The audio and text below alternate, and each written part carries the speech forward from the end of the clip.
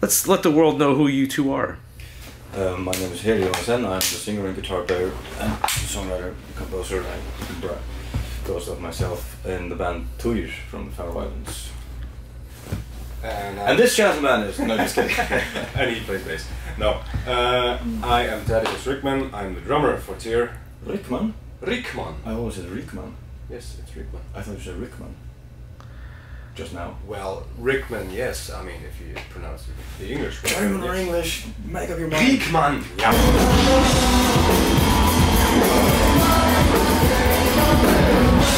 It was funny because prior to this interview, he did not know if he was a permanent member yet.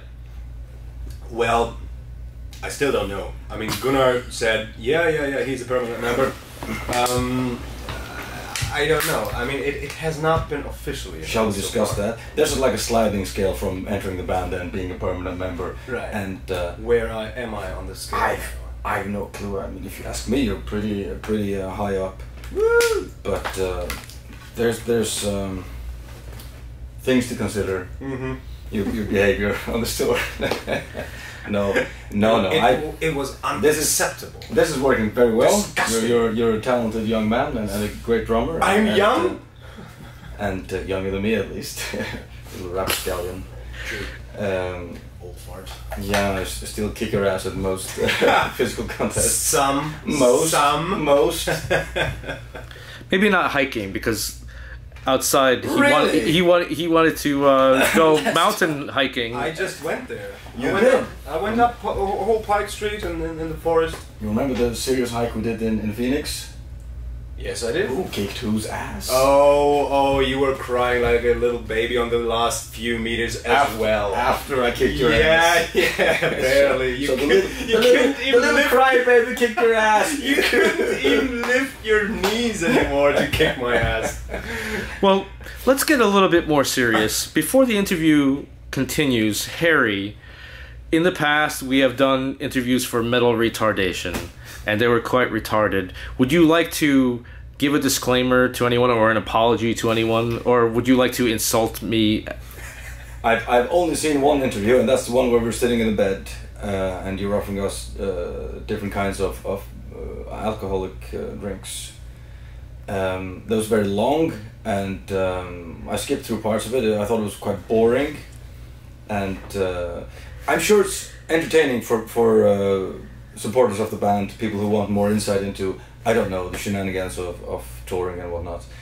Um, as I haven't seen anything else you've done. I remember dressing up something silly and, and saying some lines to which I had absolutely no context. Yeah, sure that's what- Jesus, the daughter of God. I'm not sure what he used it for. I haven't seen it. I'm not sure I want to see it.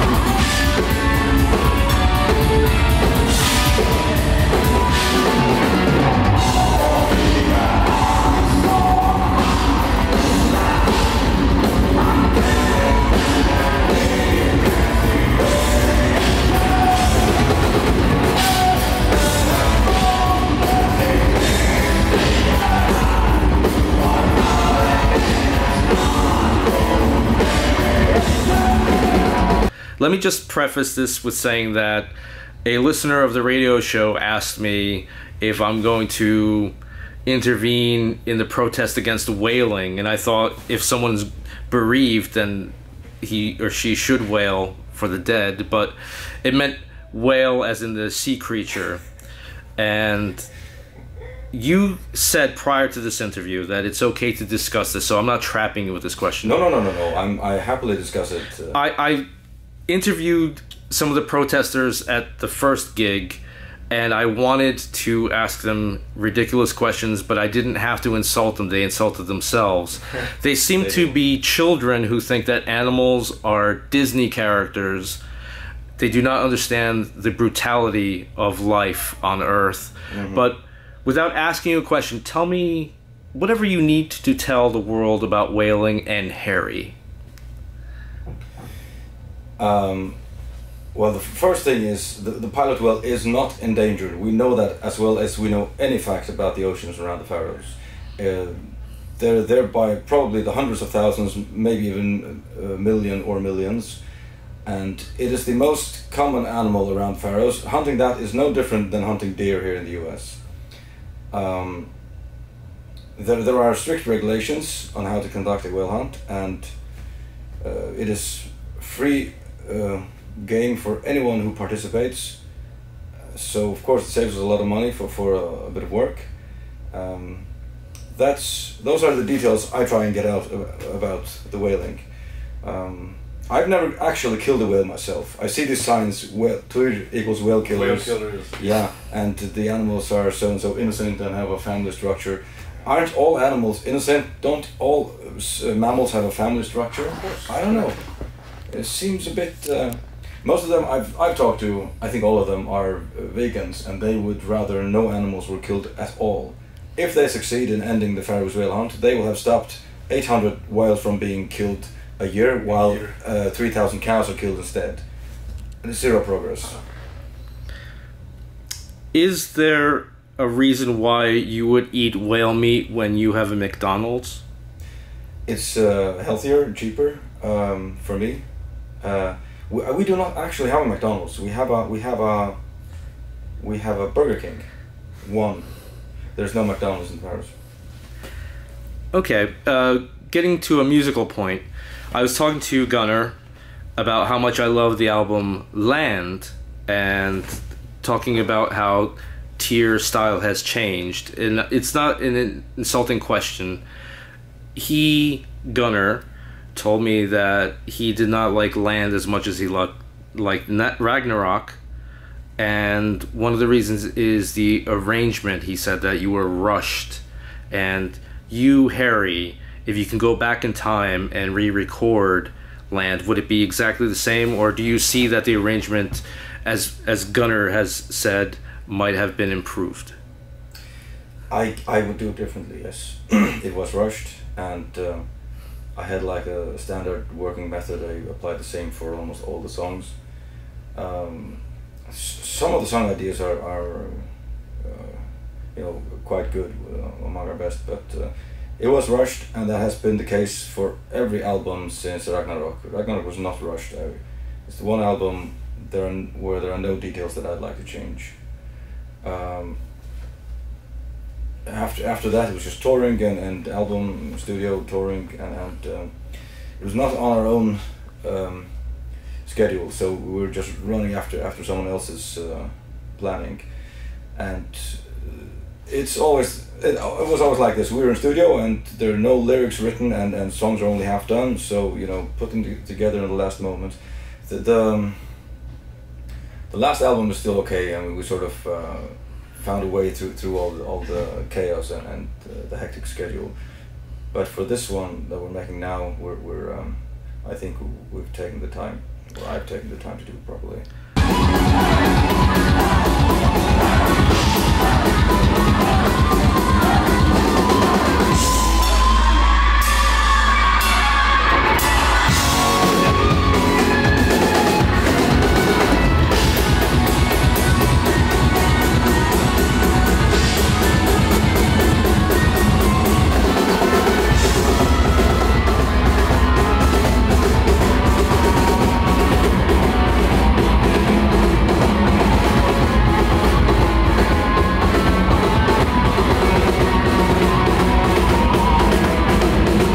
Is Ragnarok too complicated to play live?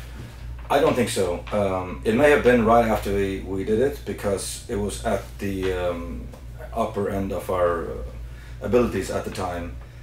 Uh, so when we went on tour right after that album, we didn't play very many songs from it. Uh, we could do it now. It would take a little bit of backtrack and a bit of practice. I'm sure we could.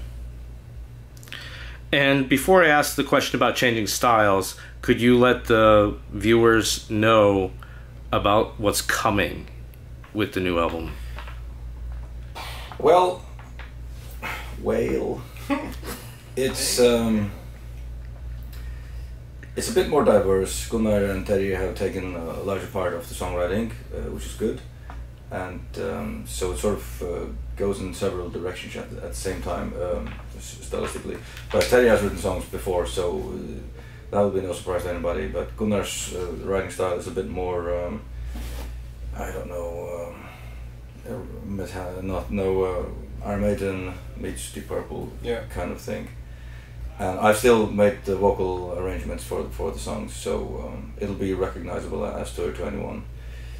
So um, it's hard for me to say how people will react to it. Uh, I like it very much so far. Uh, I think it's excellent, and um, I'm excited to see what people think.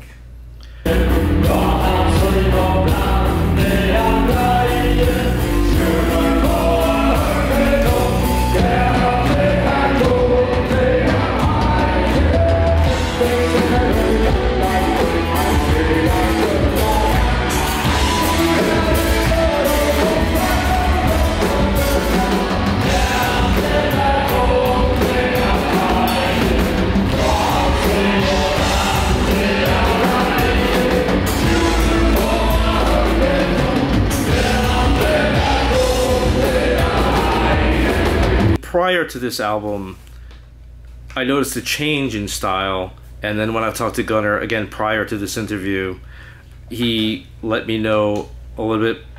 Well, I'll let you talk because we talked be- before this interview why it differed from earlier albums. You know, the catchiness and things like that. Um, uh, the Valkyrja album. Yeah. Uh, well, we've we've um, thought about, of course, when, when we write songs that that uh, if we really want to make a living from this, that uh, it has to be uh, listenable to a, a large audience, and um, we made that. We think we made that consideration with all all albums except the first and maybe Land also, which is sort of uh, heavy stuff to get through unless you're a diehard supporter of the band, I guess. So uh, I think we more and more we put more and more emphasis on the fact that it should be listenable. Um, but however, since Terji and Gunnar have wrote, written more songs on this album, there may be some lengthy passages. Terji likes long solos, for example, long uh, guitar passages, and uh, I think what's going to catch a much larger audience is to use vocals as much as possible. The, the, the vocals is what anybody can relate to. Um, guitar wankery is, is for nerds and, and the musicians. Uh, although it may appeal to a larger audience if it's really well and catchy done, but, but mostly if you're not a musician or, or a nerd of some kind, that stuff is not going to uh, catch on. So I, I have those things in mind. uh, Although I, I do make solos myself, and if you listen to my solo album, there are very very long solos. So, um, but the solo album was not made for me to make a living of.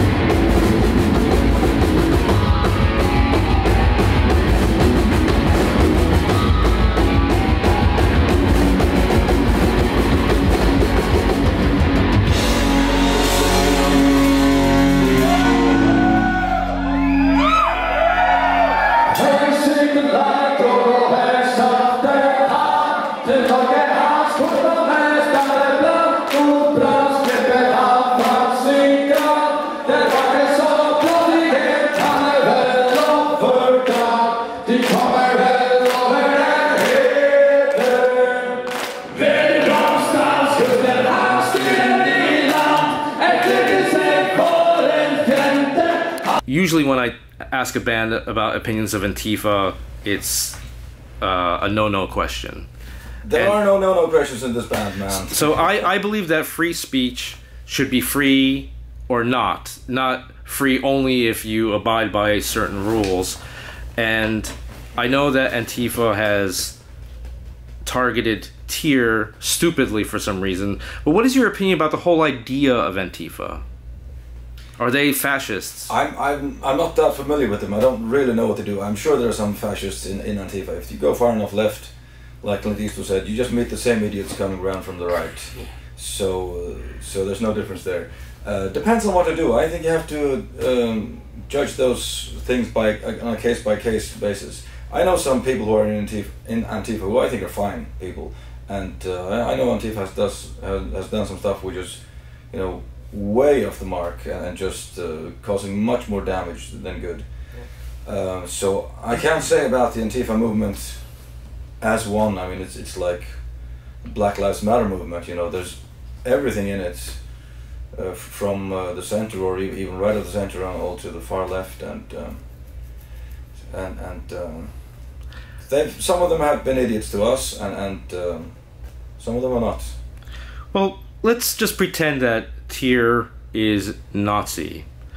If Antifa or an organization like that shuts down your show, it doesn't destroy you, it just makes you go underground. And I think they have a hard time understanding that that's much more dangerous to drive ideas underground where people can't have ideas corrected, they can't debate ideas, where almost telling someone that this is bad makes it cool. Yeah, I think sh- speech should be completely free for precisely that reason. To get things out into the open and to discuss them, and so that we know who's crazy. Um, there are uh, dangerous idiots out there, and if they're not allowed to say, speak their dangerous, idiotic uh, ideas, then we won't don't know who they are. Yes. So it's not just their right Fine. to speak; it's our right to hear it. It's just as important. Yeah. Um, so so um, yeah, I'm all for completely free speech.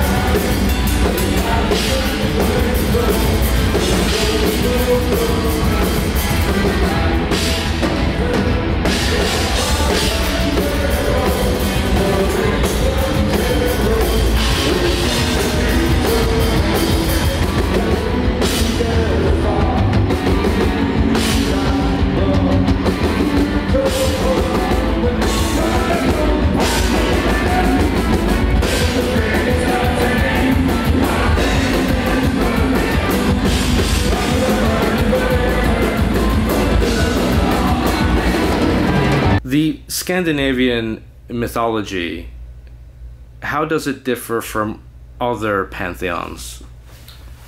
Um, I'm not that familiar with many other pantheons, but as I understood, it's much more uh, war oriented, much more battle oriented, and much more warlike compared to, say, the Finnish or, or the uh, Irish or, or, uh, Celtic mythologies. I'm not that familiar with those, so I couldn't tell you.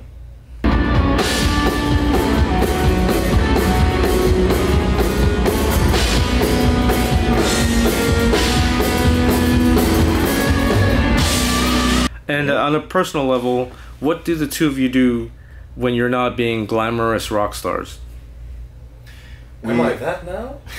we we uh, challenge each, each other to to uh, silly uh, physical contests. Yeah. by, by and and we um, convince each other to take part by calling each other chicken shit. yes. Chicken shit. That's the part talking right there. But yes, we, we do like yeah exercise and stuff Hike a makes bit. us, makes us sweat. Yeah. But when we are not on tour, maybe that was the question originally. Yeah, yeah. What do you do personally? You know, do you sit down with a good book? Uh, Oh yeah, I I, I, I love to read. Uh, actually, I'm I'm a translator. I teach translation uh, at a university in Budapest, and uh, I just finished the memoirs, the translation into Hungarian. Igen. Igen, nagyon jó. Um, from um, a musician I might not tell right now, but this book is going to be uh, released in a couple of months in Hungary, so I'm excited. Sure, we'll see it on your Facebook page. Hmm? I'm sure we- we'll see it on your Facebook page. Oh yes, Once it's out. I'll I'll post that all over the. All right, and because the camera might die any second, I just thought with some levity, the two of you could argue if The Shining, Steven Kubrick's movie, is better than the book or worse. Oh, I love Shining. The, the by Kubrick. I mean, the the movie is is great. I love it. It's one of my absolute favorite movies. I even have the, the poster at home in, in my flat. Um, I love the book as well, but I think King's ending is terrible, and Kubrick did right to to choose his own path based on the basic story provided by King. I think he diverges so far from the book that I don't see why he even used the used the basic story. He might just have made a completely unrelated movie. Um, but back to your other question, I didn't answer it properly. I've spent all my free time on this tour uh, recording the last solos, and I was just about to record my solo for the last song, and I realized I don't have a solo in the last song, so I'm finished. You're finished. Woo! Woo! All right, do you want to provide any contact for people, maybe as a last thing? Any what? Uh, any contact, uh, plug anything, uh, whether it's Facebook or. Uh, Yeah, we're on Facebook, Yeah, we're on Facebook. You know Facebook? F A C E B double O K. Instagram, Yeah. stuff like that. Yeah, Tyr Official. Yeah, Twitter. Uh, we're on. Um, where are we? Snapchat.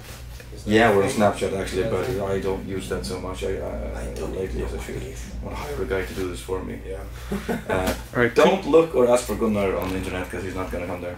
Yeah, it's only for friends and close family, or the other way around. And and tech savvy people, which excludes Gunnar. Could the two of you do an air arm wrestle, just as a final thing? Because you said you like to. Yes, we could check All right. it. Yeah. All right, try it. Let's do it I'm a lefty. Like like we need uh, we need uh, in air. No, do it in air. Okay, here. Yeah. No, no, no, no, no. No what? Keep that straight. Keep that straight. Try it. yeah, I'm a lefty. Don't pull, man. And what? Push. Yeah, yeah, yeah. I'm Alright. getting better. Thank you very much.